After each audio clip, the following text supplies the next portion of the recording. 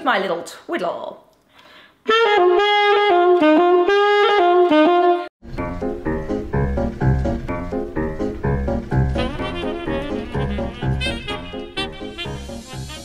Oh, hi there. How's it going, YouTube? Uh, quick video today from Chez, that's me. If you haven't come across my videos before, there are hundreds of them, so do check out more videos below. I'm sure it will suggest some for you. We're going to do a quick video today on how to make your sound a little bit more professional. Uh, just going to do five quick tips. This isn't all there is to it. Obviously, years of experience and practice is uh, a good attributing factor to sounding a little bit more professional, but hopefully some of these might be useful for you. I'm here with my Selmer Balanced Action, so it is a really nice sax. I've got a nice mouthpiece on here, Rousseau Studio Jazz. Um, if you want to know a bit more about my setup, I'll, I'll put a link above my head, because uh, obviously your setup very, very much affects the quality of sound. But um, what I'm going to do, I'm going to do two examples, a little bit of pick up the pieces.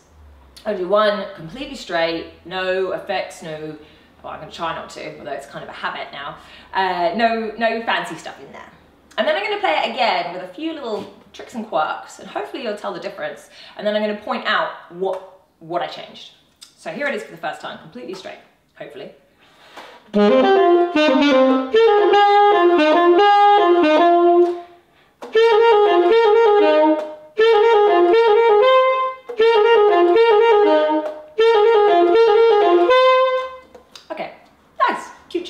I missed out a bit just so you get the idea. Okay, have a listen again with a few changes.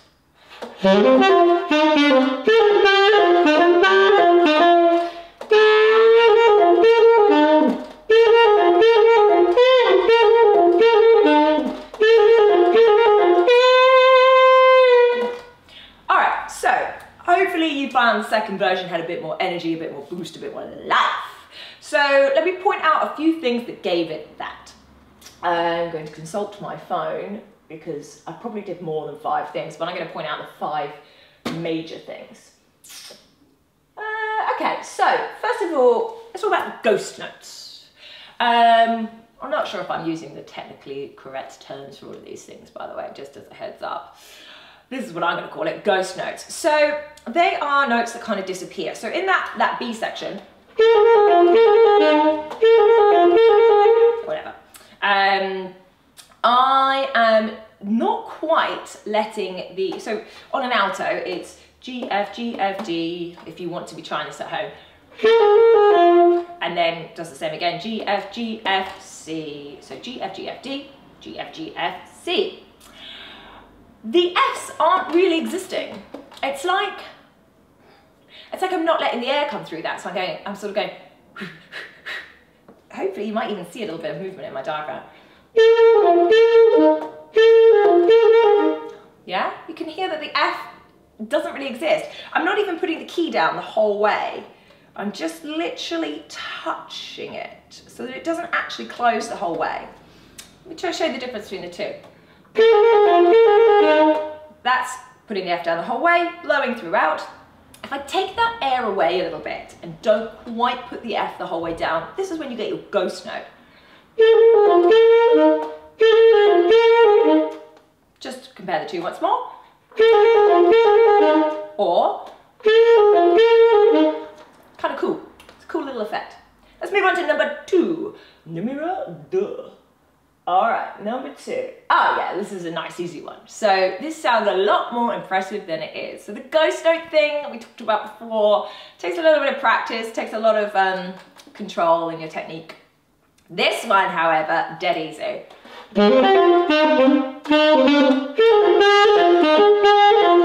Okay, so that little whoa in there, cool effect. I'm just gonna call it twiddle. It probably has a better name than that, but I'm gonna call it twiddle. So easy. So basically, on the F, I'm going above the note, so that's to the G, back to the F, and carrying on with my phrase. That's all there is to it.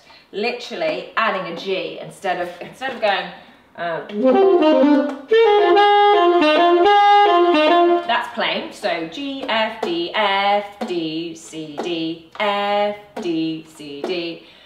Those long Fs just literally adding a cheeky G in beforehand. So I'm gonna come up to the camera a bit closer now. Hopefully it will focus in all right, so you can see this happening. So, uh, hopefully I'm in shot. So here's playing.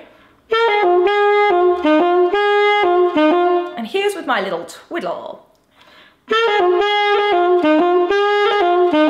you can see I'm not even really lifting the key the whole way. I'm just touching it up a little bit. I'll just do that from the side. Here we go. So that's a little twiddle there. It's a cute little effect, useful one, and dead easy. You'll get that one straight away. So definitely use it. Use it sparingly. All of these effects, try and use sparingly. Okay. Yeah, let's talk about, um, let's talk about bending. Okay, uh, when I went into that B section, I used actually two effects at the same time, so we'll talk about each of them separately. I used bending. Okay, so bending a note. Instead of just going da, you go um, and it's a tricky one. I've actually done a video on this, so I'm just going to talk very briefly about how it works, and then above my head will be a pointer to that video so you can go into a little bit more depth there.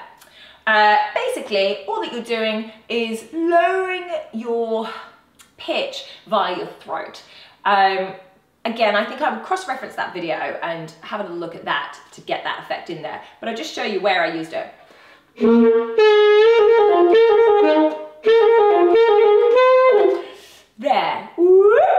That's a really good effect to use. And then alongside that, what are we on now? Number four? We're on number four already. Number four growling. So I use the bend and the growl at the same time, but you could use one or the other. It depends on what you're doing, what tune you're applying these to. But um, a growl in the right place, again, sparingly, can be a really cool effect. So that's your uh, nasty sound. Uh, that takes a little practice some people get it straight away, and those people I find very frustrating actually, because it took me a while to get. But it's a coordination thing, so, you know, some people pick up that whole kind of patting your head, rubbing your tummy thing. Some people can do that really quickly, some people can't. It takes ages. Some people can do this and some people can't. It's a coordination thing. You might never be able to do it, but it's a cool effect and it's worth trying and it's worth trying for a few months even. Just try a little bit every day. It should be popping above my head now how to do a growl. But basically, in a nutshell, it's kind of singing and playing at the same time. You hum down the saxophone whilst blowing, which, if I'm not playing, essentially it comes out like a bit of a monkey noise, like. that's kind of what's happening down the saxophone. Cross-reference that video to go in a bit more depth if that's something that you'd like to be able to do. I'm gonna do one more tip that's gonna take your playing to another level and hopefully make you sound a little bit more pro. So my fifth tip is a fall. Um, again, I'm not sure that's the technical term, but it's a Chez term. That's when you kind of sigh through a note. It's at the end of a phrase. Uh, see my shoulders doing it. I'm helping myself, I'm just encouraging there. Um, so that's when you kind of take the air away, like sighing. It's like you take the air away, you take the diaphragm away, but your fingers still fall. And it gives you this sort of at the end, which is quite a cool effect.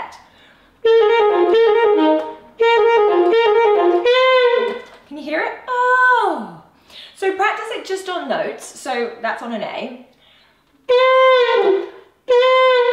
You might want to just uh, try without the fingers first of all. Again, coordination. Just try uh, controlling the notes so that your air disappears and your diaphragm support disappears, um, but without the note splitting. So.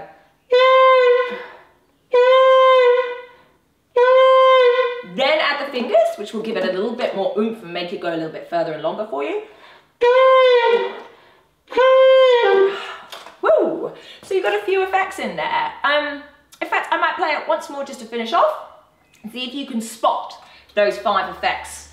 Uh, and I'll put a list of them next to me, uh, hopefully on the screen, so that you can remind yourself what you're looking out for.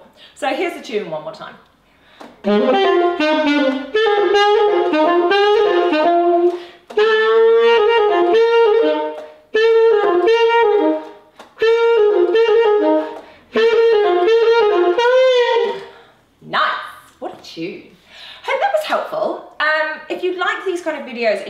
Some more kind of quick tips on how to just change your sound if you're starting to get frustrated, like why don't I sound more like this player or whatever, do leave me a comment. I do read them all and they are very important to me. It means a lot to me when you leave me a comment or give me a thumbs up. It makes me want to do more of these videos. So do get in touch.